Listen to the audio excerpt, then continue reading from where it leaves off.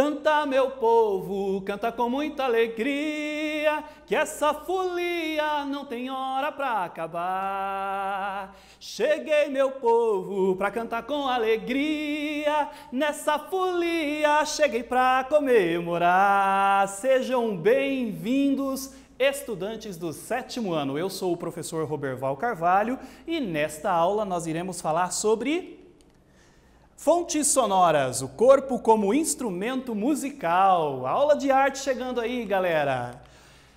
Nesta aula teremos o objetivo de entender o corpo como um instrumento musical capaz de emitir sons, explorar os movimentos sonoros, sons, os diversos sons corporais, conhecer a técnica Rambone e aplicar sugestões de música corporal baseada nas produções do grupo Barbatuques. Será que podemos criar música com o nosso corpo? De que maneira? Pega essa.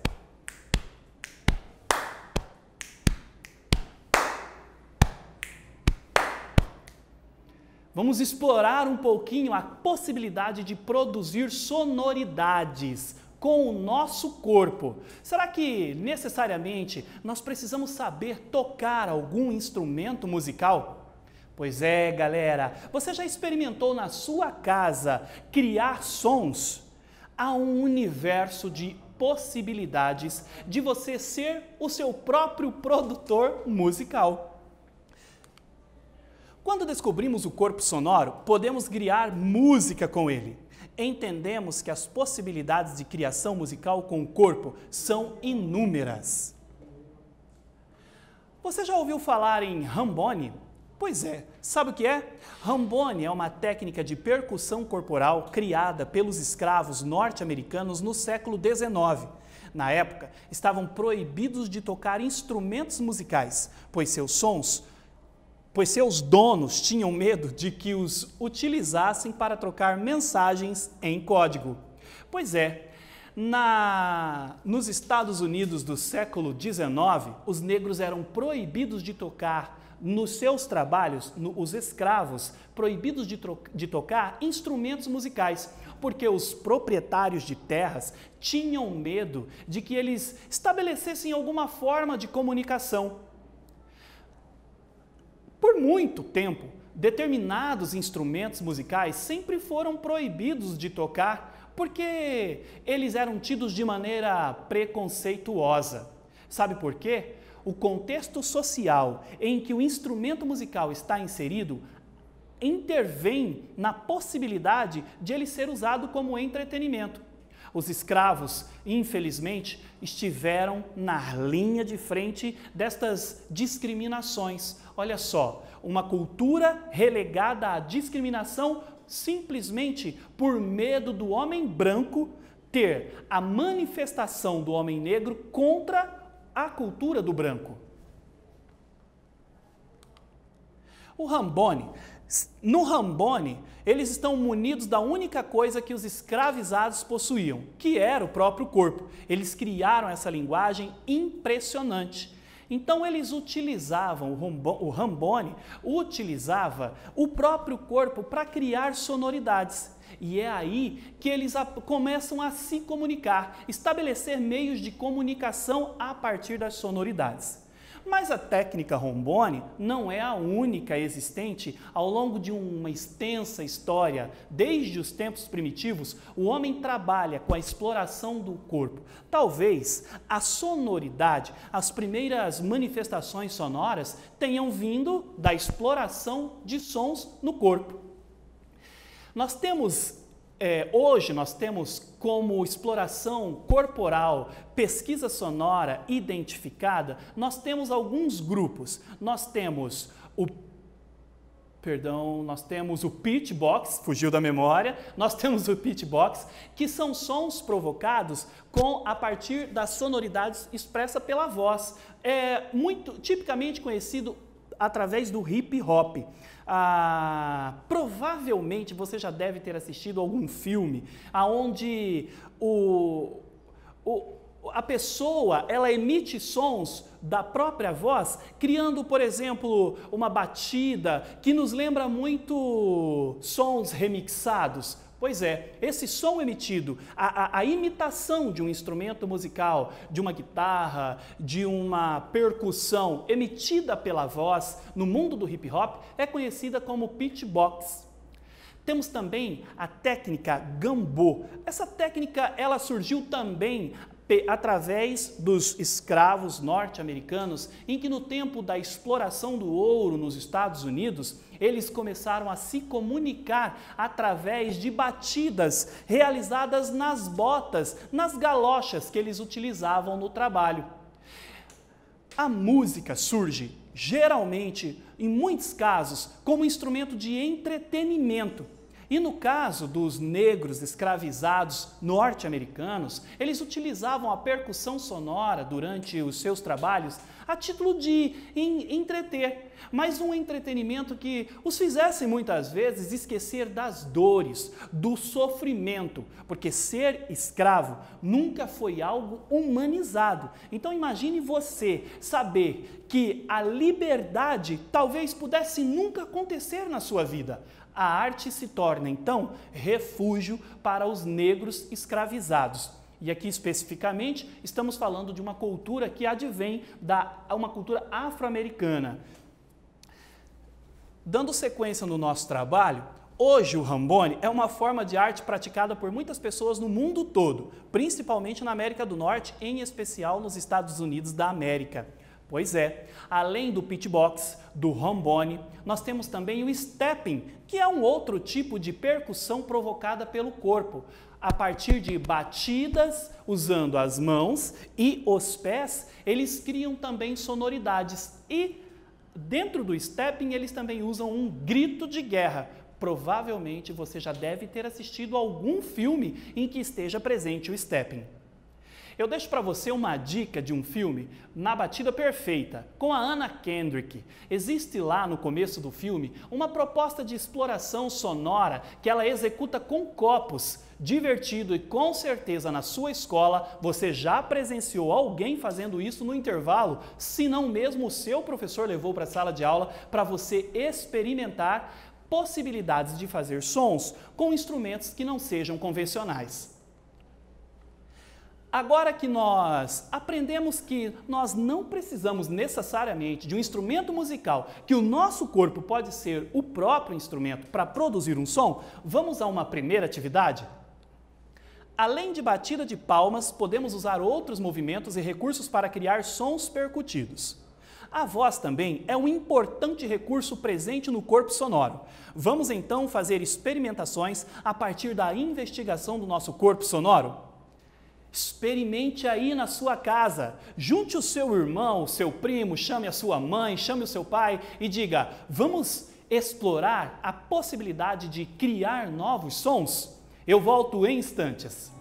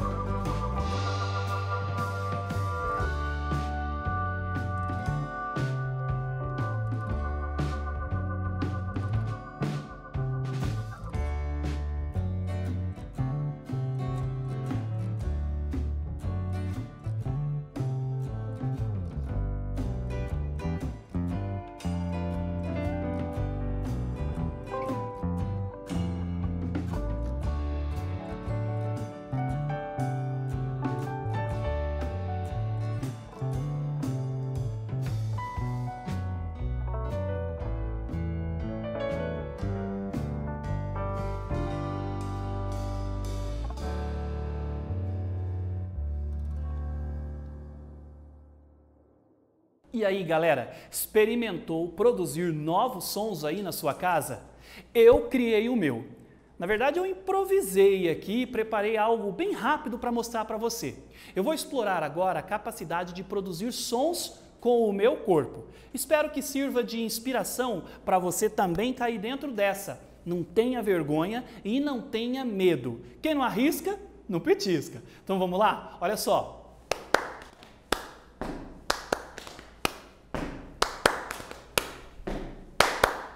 Viu só? Eu usei batidas as palmas para explorar a possibilidade rítmica no meu corpo. E se eu acrescentasse algo mais para dar um pouco mais de brilho?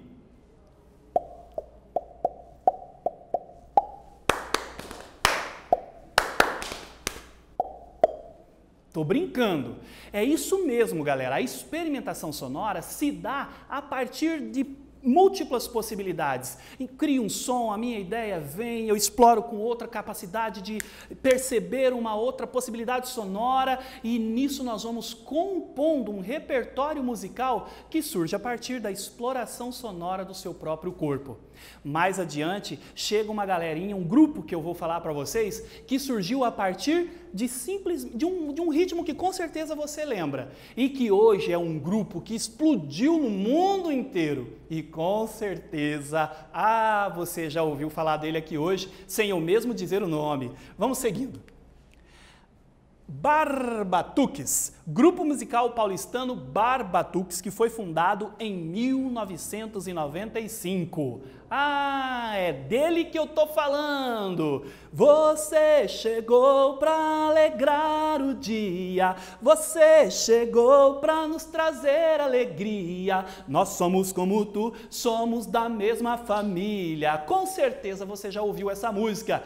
Ela foi tema de uma trilha sonora do, do filme Rio 2, exatamente. Olha o Brasil ganhando as telas de Hollywood aí, gente. Barbatux surgiu em 1995 e eles trazem a proposta de explorar o som.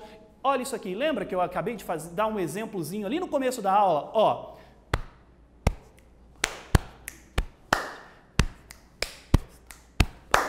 peito estala, bate, peito estala, peito bate. Sabia que o grupo Barbatux surgiu a partir deste simples movimento, é, eles estavam reunidos ali, né? O, o, o, precursor do grupo, né? o fundador do grupo estava ali reunido com seus amigos, brincando, pesquisando possibilidades de som e a ideia de investir em produção musical a partir do corpo surge do peito estala, bate, peito estala, peito bate, peito estala, bate, peito estala, peito, estala, peito baixo, cara, ó, a cabeça da gente, imagina, imagina quem tem problema com ritmo, é legal para trabalhar a percepção rítmica, desenvolver a sua capacidade de trabalhar o ritmo. Eu sou uma pessoa que tem um pouco de dificuldade com o ritmo, mas quando eu quero, eu passo horas e horas e horas, porque como é, talvez você tenha se perguntado, precisa de dom? Tem que ter dom para ser artista? Não, tem que ter trabalho.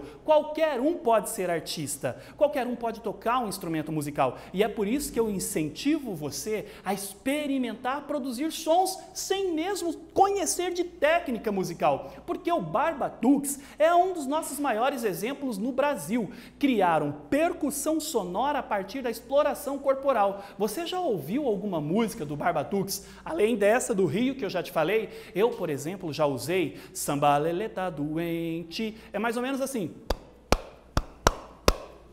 Mas aí tem uma, um sopro que dá uma impressão de flauta, e aí eles come, eh, ficam um longo tempo nessa percussão até que entra samba lelê. Eles exploram músicas conhecidas, também criam novas possibilidades de músicas, de sons, e essa, é, é, esse, essas músicas ganham o mundo. Elas encantam a todos que ouvem. Não tem como não gostar do Barbatux. Então, se você não conhece o Barbatux ainda, por favor, quando terminar a nossa aula, procure na internet, vá conhecer ah, ah, o Barbatux, inspire-se e digo mais, não é só eles no Brasil, tá cheio de grupo experimental que pesquisa maneiras de produzir som com o corpo.